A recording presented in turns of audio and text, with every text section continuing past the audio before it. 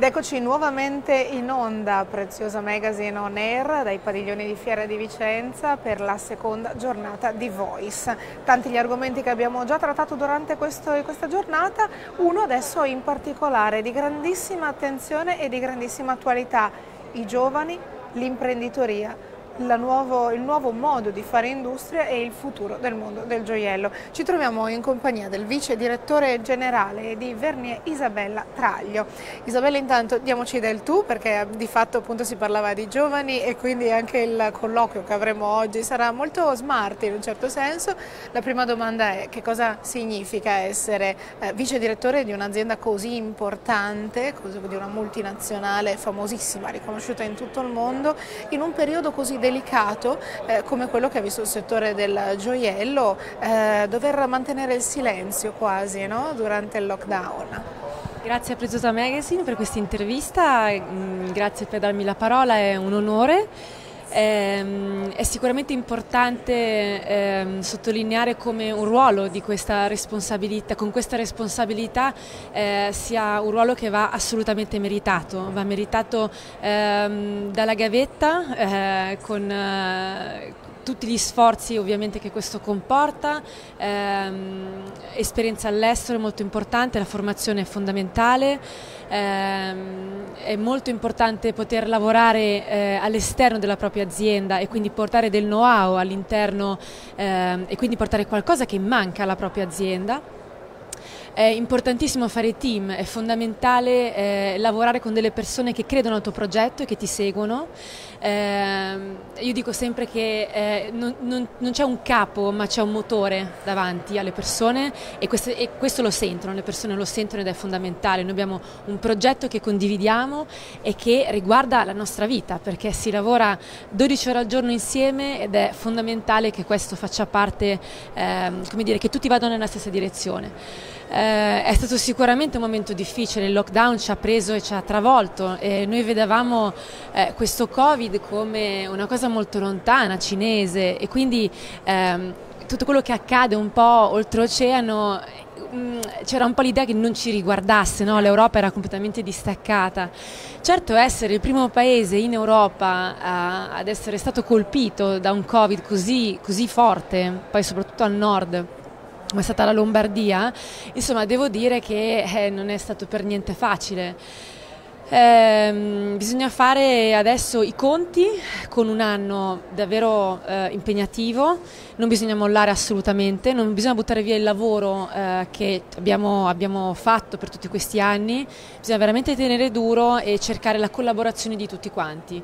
E quando dico di tutti quanti parlo dell'interno dell'azienda, delle persone che vogliono bene all'azienda, dall'esterno, quindi da tutti i nostri collaboratori e parlo dei nostri fornitori, eh, perché la, dire, la, il nostro benessere è legato al, a loro e viceversa. E quindi certo. bisogna veramente, veramente eh, avere un senso comune in questo momento. In tutto questo sicuramente essere una giovane imprenditrice e una giovane manager aiuta perché sicuramente porta questa predisposizione a guardare al futuro con maggiore sicurezza, fare anche da traino no? poi appunto ai collaboratori che lavorano con voi.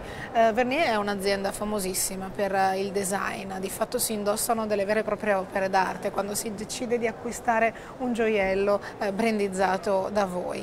Ehm, guardando al futuro del, del gioiello e guardando anche al futuro dell'imprenditoria del gioiello, vediamo tantissime donne che in questo momento eh, sono attive, proattive all'interno delle proprie aziende che riescono a combinare il momento lavorativo in ufficio con i collaboratori e poi il rientro a casa in famiglia, magari parlando anche proprio eh, con i figli e trasferendo le bellissime sensazioni ma anche lo stress eh, che portano dal lavoro nella propria casa. Come si riesce a fare tutto questo? Ma guarda, è, è difficilissimo, eh. sono molto onesta e, e non, non, non, possiamo raccontare che eh, si può sempre fare tutto perché non è vero. Io ho imparato, io ho due bambine piccole, ho imparato eh, a chiedere aiuto, ho imparato a delegare, eh, ho imparato a dire non ce la faccio, quindi eh, è, è, veramente molto importante ehm, affidarsi anche un po' eh, agli altri, che sia un marito, una tata, i nonni, comunque dire adesso ho bisogno di fare questo. Si vive in costante, ehm, con la sensazione costante di avere i sensi di colpa, perché sei in ufficio, hai un progetto in testa che vuoi portare avanti e c'è la foga, la voglia, il motore sotto e poi hai i bambini piccoli che sono a casa e ti aspettano, sono già le 8 di sera e tu dici mamma mia adesso cosa devo fare?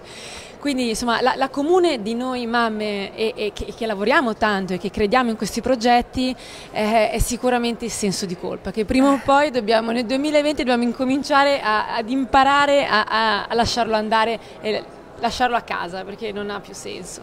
Eh, noi siamo una generazione secondo me eh, già eh, come dire fortunata la generazione precedente, eh, le nostre madri sono state le prime lavoratrici con i figli e quindi Molto abbiamo bene. già un po' la strada spianata. Io di questo ringrazio la generazione prima perché noi siamo arrivati ad avere già un, un, dire, un mondo del lavoro che già ci ha accolto molto meglio rispetto a 20-30 anni fa, sì. questo sicuramente. Sì, sì. Erano già più pronti, insomma. Sì, diciamo che insomma, la parità di sesso, la parità di stipendio, Uh, uh, women supporting women, quindi vuol dire che adesso c'è anche una, non c'è più quella, quella cosa di essere uomo, no? Certo. Nelle aziende c'era questa volontà perché se eri donna dovevi per forza perdere una parte di femminilità, cosa che invece adesso si, eh, si cerca, io personalmente cerco tantissimo di non, ehm, di non perdere, certo. no? cioè, sei donna, punto, non sei uomo. e quindi con la dolcezza, con anche la, dire, la, la pazienza che ti insegna, anche perché noi figli, perché insomma tutte le mamme capiranno questo loro. discorso. ovviamente. Certo. Isabella, grazie molte per questa bella chiacchierata. Noi ovviamente nel rispetto dei protocolli anti-Covid eh, adesso ospiteremo un'altra persona eh, con la quale appunto affronteremo sempre questioni legate proprio al mondo del gioiello ed, e al futuro eh, eh, dell'oreficeria. Quindi grazie per essere stati grazie con noi. Grazie a voi, grazie. E adesso invece chiamiamo Azzurra Cesari, Future Gem.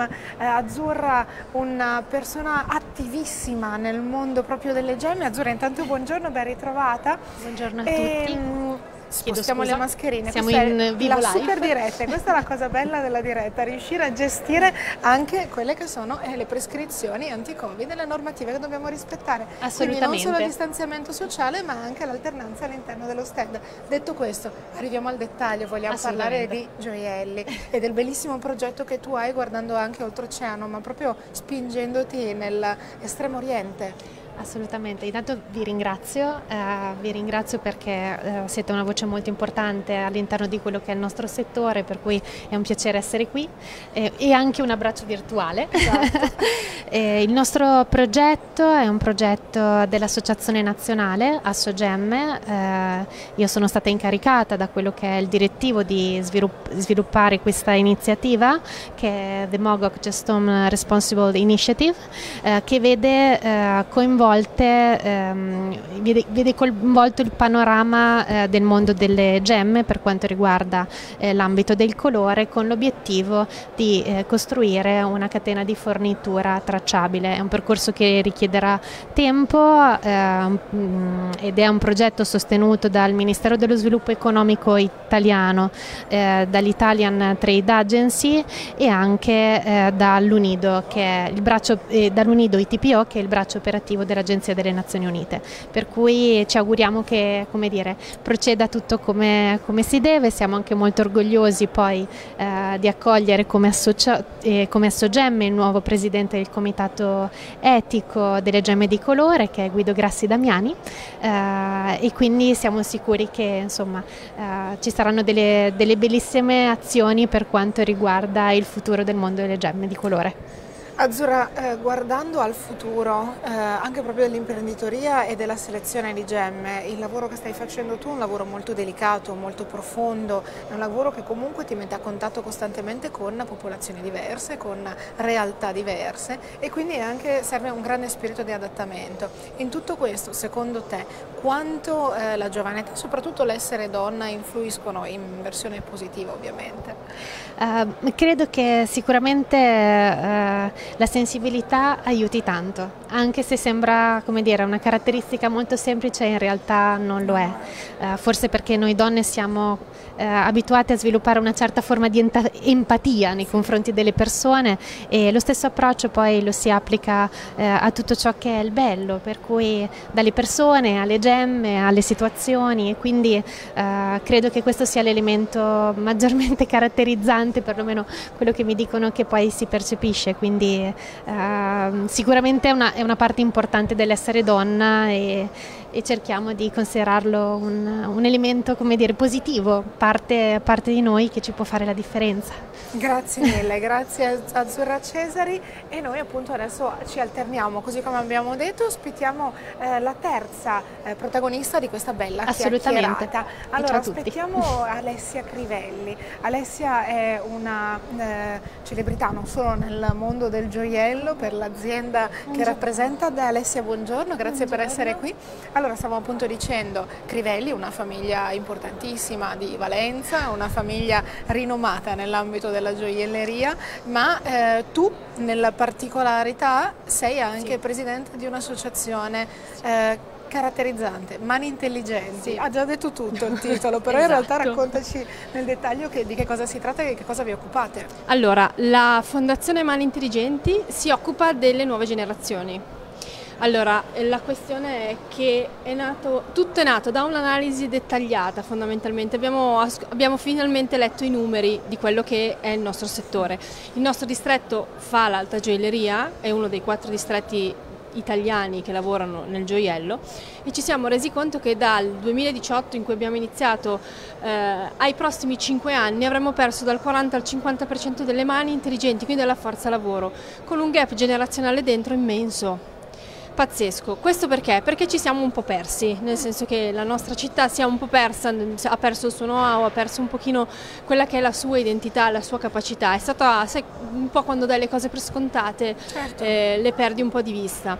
Eh, l'attrattività si è un po' spenta, avevamo una scuola che negli anni era sempre stata molto eh, rinomata per la lavorazione, c'era gemologia, c'erano metalli, quindi era proprio indirizzata, abbiamo tante cose che hanno a che fare con questo settore con gli anni si sono un po', per, un po perse. Allora abbiamo, mh, chiacchierando fra colleghi, finalmente siamo riusciti a unirci tutti quanti insieme, oltre la nostra competitività e l'individualità che certo. comunque ha sempre contraddistinto questo settore, e abbiamo cominciato a lavorare insieme. Quindi abbiamo creato questa fondazione che oggi conta 60 aziende, fra grossi marchi, eh, piccole aziende, conto tutto, c'è dentro tutto, anche perché tutti hanno una componente di mani all'interno straordinaria e abbiamo cominciato a lavorare nella fondazione, quindi abbiamo cominciato a parlare con le scuole, abbiamo cominciato a creare dei nuovi fili di connessione, abbiamo aperto le aziende, quindi i ragazzi cominciano a venire all'interno delle aziende perché è importante che loro vivano quello che è il nostro mondo, altrimenti vivono di stereotipi che non ci sono più. Quindi questo è stato un grande passo avanti e il riscontro c'è stato. Se non ci fosse stato il Covid che comunque ci ha rallentato, ma ci ha dato ancora più spinta, quindi da ogni crisi nasce un'opportunità e ce ne sono tante. Tu hai toccato un punto molto interessante, la questione del riuscire ad incuriosire le nuove generazioni, perché fondamentalmente siamo abituati a pensare che eh, non abbiano voglia di fare, che siano svogliati, in realtà non è assolutamente così, sono reattivi, propositivi, hanno voglia di mettersi in gioco, ma allora eh, in che modo appunto aiutarli? Anche a cercare una strada alternativa, perché ehm, perdere l'artigianalità italiana sarebbe un delitto. Un delitto, un delitto mostruoso.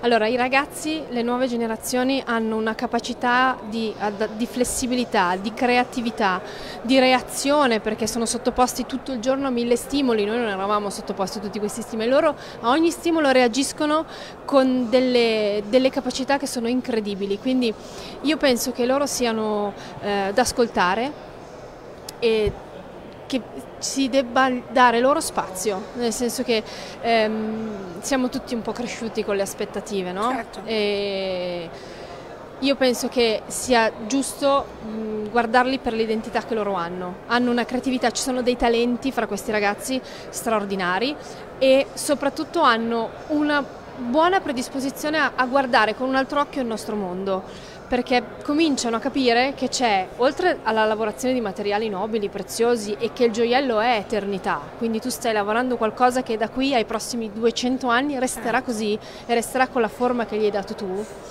E questo secondo me è straordinario, cominciano a capire che noi, dalla parte nostra, cominciamo a credere, noi dobbiamo credere in loro e dargli la possibilità con le nostre competenze di passargliele, trasmettergliele, ma lasciandogli la possibilità di fare ricerca e sviluppo e di trovare la loro identità, perché le radici restano sempre quelle. Con le radici salde si creano degli alberi straordinari. Quindi serve più un mix and match piuttosto che una no, imposizione delle proprie, delle proprie radici, delle proprie attenzioni.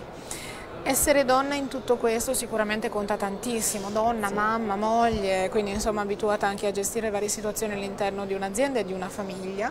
Eh, la predisposizione, come dicevamo prima con Azzurra, il fatto che comunque la sensibilità femminile, l'avevamo detto anche con Isabella, la eh, gentilezza, l'educazione, no? l'essere proprio donna in tutto questo aiuta, aiuta molto. molto. Ma secondo te le giovani generazioni di ragazze si identificano più in quello che potrebbe essere, l'abbiamo toccato sempre prima, prima, l'aspetto uomo quindi questa donna integerrima, dura, quasi maschile, oppure eh, sono un pochino più propense a guardare a quello che stiamo vivendo forse noi? Io penso che in questo momento ci sia una buona propensione al cominciare a ritrovare quello che è l'essere donna, quindi eh, anche lì è un discorso di aspettative, siamo cresciute tutte con eh, le aspettative che dobbiamo fare, l'ha detto bene Isabella prima, l'ha detto perfettamente, siamo cresciute col senso di colpa, ah, sì. quando siamo da una parte, non siamo dall'altra, è lo stesso senso di colpa che stasera mi fa correre a casa perché domani devo portare a eh, scuola, a mio figlio